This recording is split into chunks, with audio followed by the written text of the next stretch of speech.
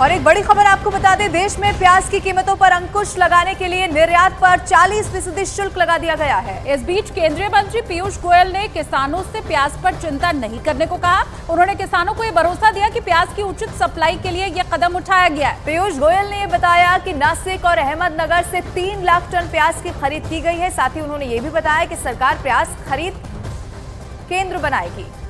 तो बड़ी खबर आपको बता रहे हैं, प्याज के ऊपर पीयूष गोयल का बयान सामने आया है। इसके अलावा निर्यात पर 40 फ़ीसदी शुल्क लगा दिया गया है ताकि निर्यात रुक सके और देश में प्याज के दामों में कमी आ सके, स्थिरता आ सके। नुकसान ना हो, उपभोक्ताओं की कीमतें बहुत ज़्यादा बढ़ बढ़ ना पाए। उसके लिए भी एक संतुलन बिठाने के लिए प्याज के ऊपर 40 प्रतिशत निर्यात टैक्स शुल्क लगाया गया है। जिससे भारत में उपलब्धता प्याज की पर्याप्त रहे और जो आज की परिस्थितियाँ हैं, उसमें उपभोक्ता को भी लाभ हो, किसानों को भी कोई नुकसान हो, ये संतुलन बिठाने हेतु आज सुबह 11 बजे से एनसीसीएफ और नाफेड और दो लाख टन नासिक, जिसके पिंपल गाँव, लासन गाँव, अहमदनगर, इस पूरे क्षेत्र में दो लाख टन और प्याज की खरीद शुरू कर देगी। आगे चल के और खरीदना पड़े तो और भी खरीदने के लिए तैयार है। और मध्य प्रदेश, गुजरात ऐसे कोई इलाकों में, जिन इलाकों में प्याज बनता है, वहाँ पर भी एनसीसीएफ और नेफेड खरीदेगी प्याज, जिससे किसानों को भी सही दाम मिले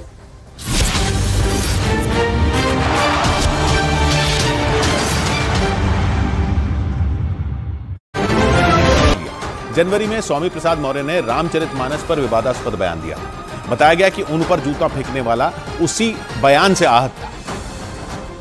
इसलिए स्वामी प्रसाद मौर्य के कार्यक्रम में पहुँचते ही उन पर काला जूता फेंक कर मारा गया। इसके बाद तो मौर्य के समर्थक जूता फेंकने वाले की जान के दुश्मन बन बैठे।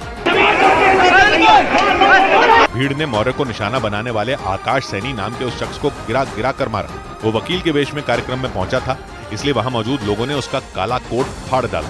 पुलिस के कब्जे में होने के बावजूद मौर्य के समर्थकों ने उसका पीछा नहीं छोड़ा। लिहाजा अपनी जान बचाने के लिए वो दौड़ पड़ा, मगर लोग भी उसके पीछे पीछे दौड़ पड़े। पर पुलिस वाले उनकी स्पीड मैच नहीं कर पाए और जूता फेंकने वाला आदमी फिर भीड़ के हत्थे चढ़ गया। पुलिस ने किसी तरह उसे छुड़ाया और अपने साथ ले गई, वो भी ऑटो में।